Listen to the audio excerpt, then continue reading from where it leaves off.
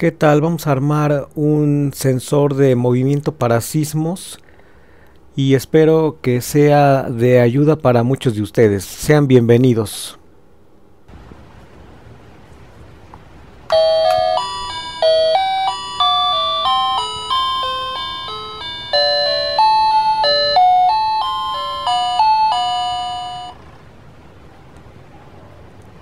Vamos a utilizar un timbre inalámbrico. En este caso voy a utilizar un Steren.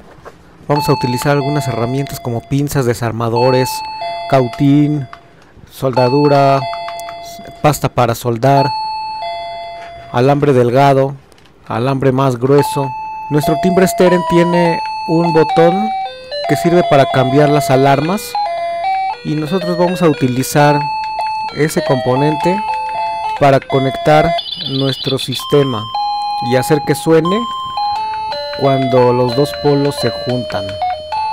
En este caso voy a utilizar alambre galvanizado, pero yo les recomiendo que mejor se utilice alambre de cobre por su conductibilidad.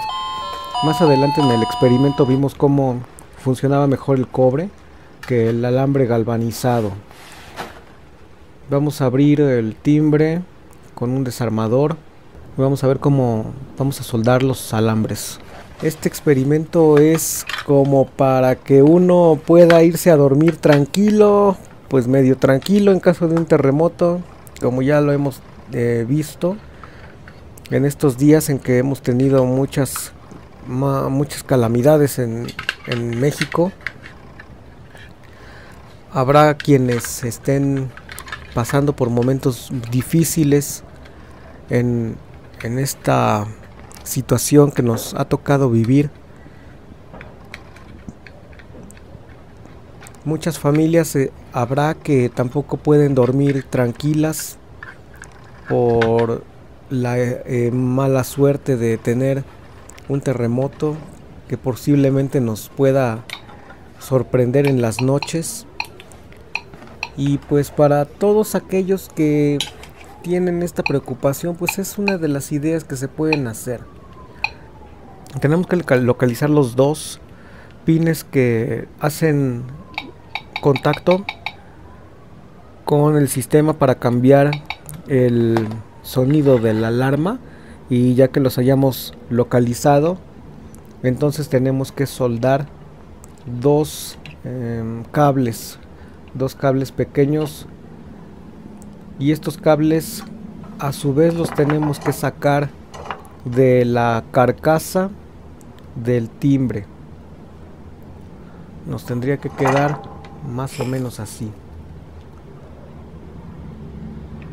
Pelamos los cables ya sea con unas pinzas o con unas tijeras.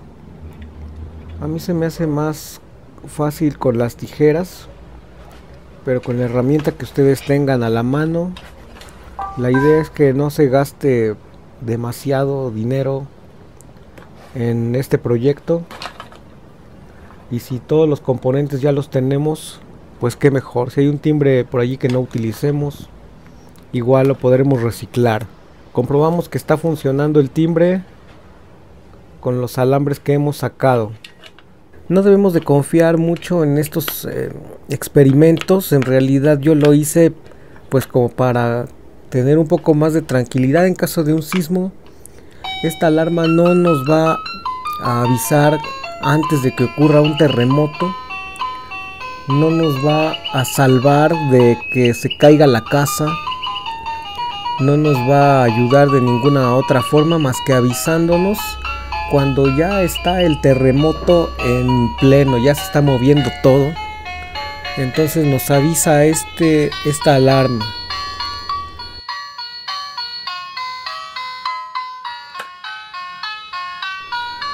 Ahora tenemos que hacer un orificio para sacar los dos alambres que hemos soldado al switch. Podríamos utilizar un taladro con una broca pequeña o en este caso utilicé el mismo cautín, lo que ustedes consideren más conveniente.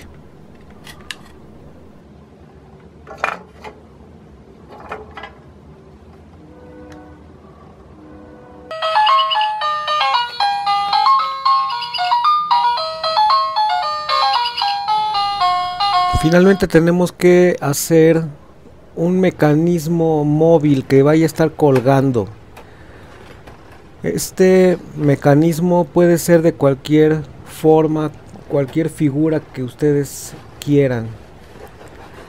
El requisito es que debe de ser con un material conductor de electricidad. En este caso se me ocurrió que podría ser alambre galvanizado. Y me decidí hacer un poco de manualidades aquí con el alambre. La idea que tenía era la de hacer una esfera que se pudiera mover. Y de pronto se me ocurrió también hacer una esfera dentro de otra para que se pudieran mover. Y en caso de un sismo, de un terremoto, se pudiera pudieran chocar estas dos esferas y pudieran activar eh, la alarma a la cual hemos conectado el, el cable. Y entonces se activa por este movimiento de las dos esferas.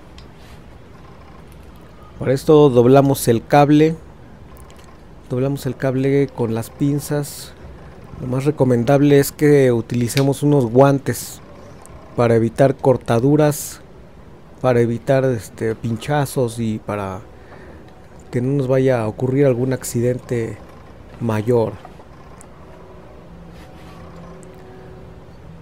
Ya tenemos varios círculos eh, armados y cortados, doblados y los vamos a soldar con un poco de estaño.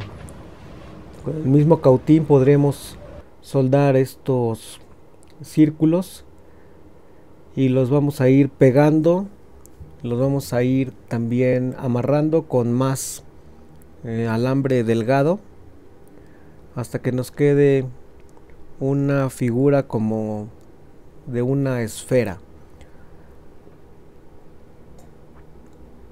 No necesariamente tiene que ser una esfera, puede ser cualquier otra figura, puede ser un cuadrado, puede ser triángulo, puede ser cualquier otra figura que ustedes quieran, siempre y cuando sea de un conductor de electricidad, de un material conductor. Aquí habíamos planeado, como ya había mencionado, tener dos esferas, una dentro de la otra, que se moviera una y quedara fija la otra. Eso es muy importante a la hora de hacer este proyecto. Que uno, un componente de los que van conectados al timbre, debe de quedar fijo y el otro debe de moverse porque si se mueven los dos es improbable que, que funcione, que se vayan a, a juntar para activar la alarma.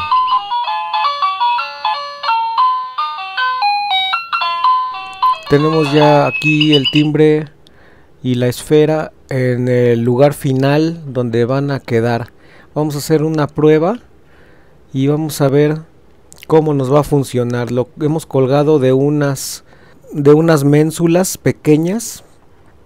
Lo que encontramos con esta esfera pues es que iba a estar muy difícil dejar fija una de las dos esferas y entonces pusimos ese anillo a la pared para que quedara fijo y entonces las dos esferas van a tener que hacer contacto con ese anillo que va a quedar fijo.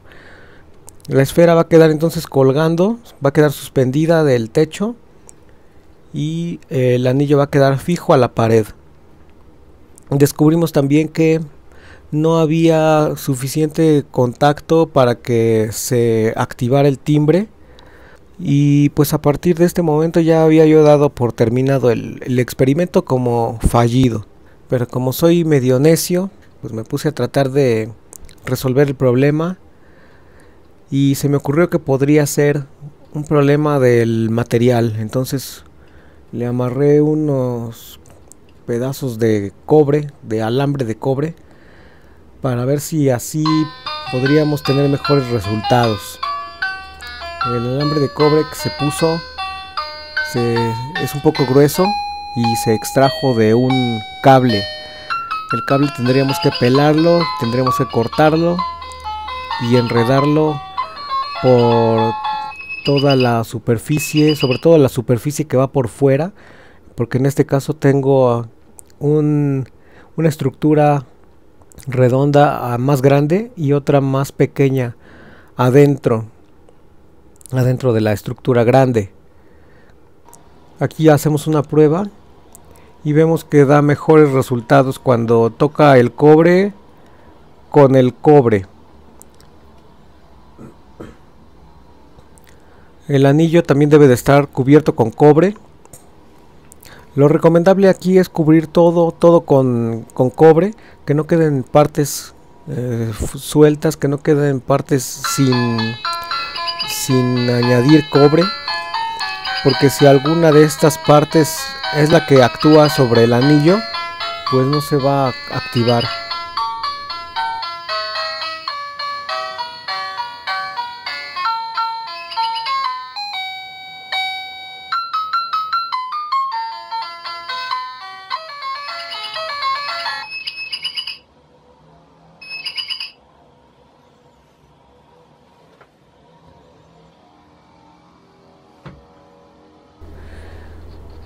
Simplemente es uno de los medios que nos podemos valer para que tengamos un rato de descanso por las noches y pues espero que les haya servido.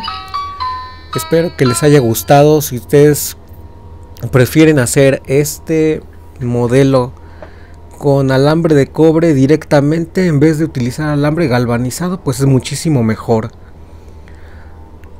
que estén muy bien, que el Señor los guarde y nos vemos pronto.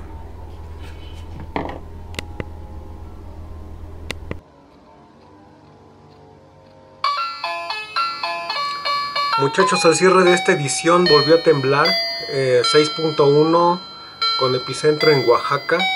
Se sintió muy poco. La gente aquí, la mayoría, ni siquiera lo, lo percibió. Y Ah, aquí se vio que la esfera se movió muy poquito. Más o menos fue esto, con un movimiento constante. Aquí lo toco un poco, pero se detiene el movimiento. Y en esa ocasión el movimiento era constante, muy constante, pero no alcanzó a tocar el, el cobre. Les aviso para que hagan sus ajustes. Yo también voy a tratar de mejorar el, el equipo, el sistema de detección de terremotos y pues tomen sus precauciones.